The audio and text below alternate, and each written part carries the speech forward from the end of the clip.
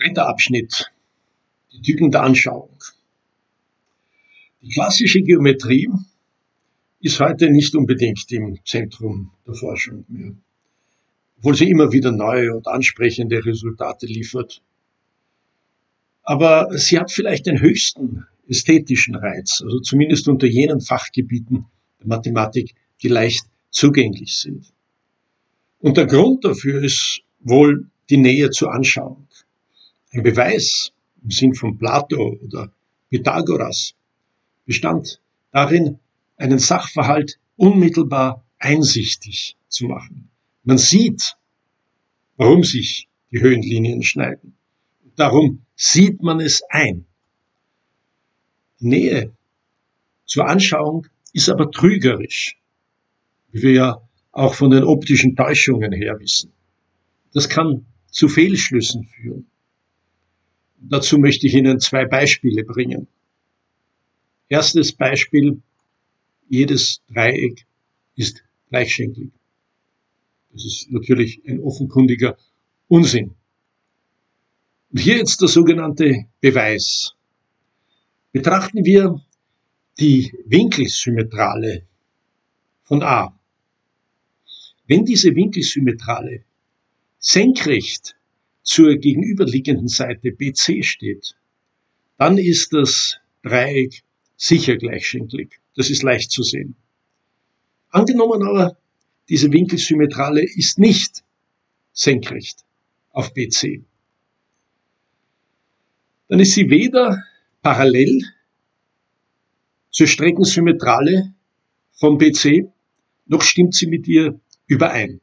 Also schneidet die Winkelsymmetrale die Streckensymmetrale in einem Punkt und den nennen wir P. Und jetzt ziehen wir durch P jeweils das Lot auf die Seiten AB und AC von unserem Dreieck.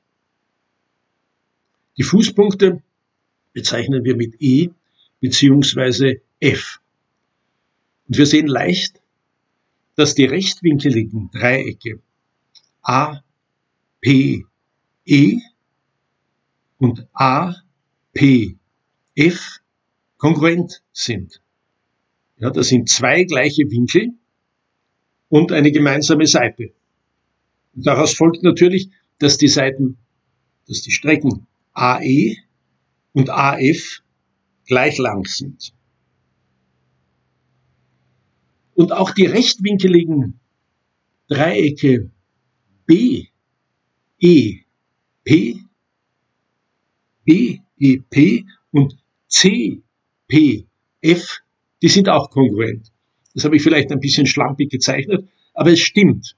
Denn die Strecken PE und PF sind ja gleich lang, da P auf der Winkelsymmetralen von A liegt. Und die Strecken PB und PC sind auch gleich lang, weil P auf der Streckensymmetralen vom BC liegt. Also sind auch die Strecken BE und FC gleich lang. Wenn aber AE und AF gleiche Länge haben und EB und FC ebenso, dann müssen wir nur diese Längen aufsummieren, um zu erhalten, AB und AC haben die gleiche Länge. Das Dreieck ABC ist also gleichschenkelig. Jetzt ein zweites Beispiel. Wir zerlegen ein rechtwinkeliges Dreieck